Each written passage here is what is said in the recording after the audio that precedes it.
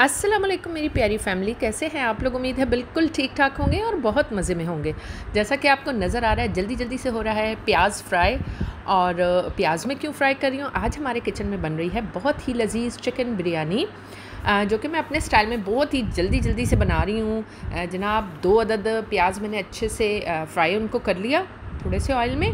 और उसके बाद मैं उसके अंदर जो है तो चिकन को फ्राई कर रही हूँ और उसके साथ साथ आलू जो है मैं वो बॉईल कर रही हूँ और आलूओं में मैंने एक पिंच जो है तो वो उसकी ऐड कर दी है, जो हमारे पास हर घर में मौजूद होता है कलर फ़ूड कलर जो होता है, वो ही मैंने थोड़ा सा ऐड कर दिया। अभी मैं आपको बताती हूँ कि इसको हम किस तरह से इसमें जो है तो वो बना रहे हैं हम लोग। तो चलिए अब आप देखते जाइए।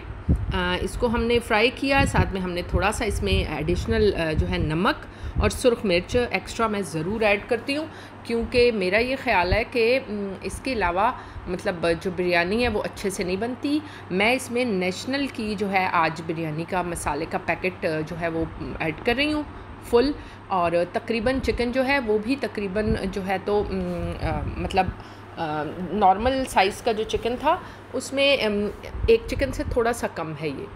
और बस उसके बाद मैंने उसको इस तरीके से एक्स्ट्रा मसाले डाल के और मैंने उसको अच्छे से फ्राई किया। बीच में मैंने थोड़ा सा विनेगर भी ऐड किया सिरका।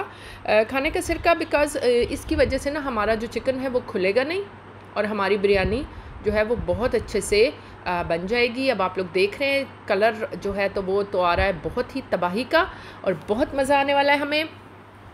आलू हो गए बॉयल बस हमारा चिकन भी तकरीबन तैयार है। इसमें हम वही बॉयल किए हुए जो थोड़ी सी कसर रहती थी उन बॉयल्ड आलूओं में आ, उसको मैं इसमें ऐड कर रही हूँ।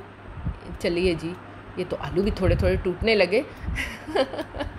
बट ये है कि अब बस सिर्फ़ दो मिनट ही मैंने उसको दम पे रखा और अब मैंने साथ में जो है चावल भी दो अदद मोटी इलायची और दो से तीन जो है तो छोटे छोटे पीस थे मेरे पास दारचीनी के, उनके साथ मैंने चावलों को बॉईल कर लिया पानी में एक कनी की कसर छोड़ के। उसके बाद मैंने इस पर इस तरीके से मैंने इसकी लेयरिंग की। अब मैं आपको बताती हूँ, जो, ये जो हम डालते हैं ना फ़ूड कलर ये बहुत ही अच्छे तरीके से, मैं तो उसको सिंपल ऐसे ही छिड़क देती हूँ, पर इतनी मज़े की और इतनी उम्दा उसकी खुशबू और कलर और बिरयानी तो बस वाह वाह ही हो गई थी ना। घर वालों ने तो बस तबाही डाल दी थी। उन्होंने कहा, बस आपने आज बहुत ही अच्छी बिरयानी बनाई है और आप देखिए, ये मेरे पास हरी मिर्चें, हरा धनिया और जो है बारीक स्लाइसेस जो है लेमन के, वो भी मैंने इसके ऊपर ऐड कर दिए ताकि खुशबू अच्छे से आए और बस ये है हमारी बिरयानी की फ़ाइनल शक्ल और जो है तो ये है खाने के लिए बिल्कुल रेडी हम लोगों ने अभी अभी इसको खाना है क्योंकि ये बहुत मज़े की है और इन ताला हम दोबारा इसी तरह मिलते रहेंगे। अल्लाह हाफिज़।